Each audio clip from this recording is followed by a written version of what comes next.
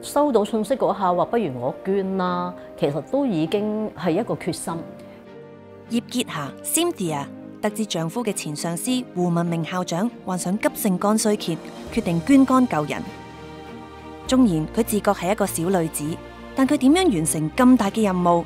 当中又点样经历到上帝嘅恩典呢？小女子大任务。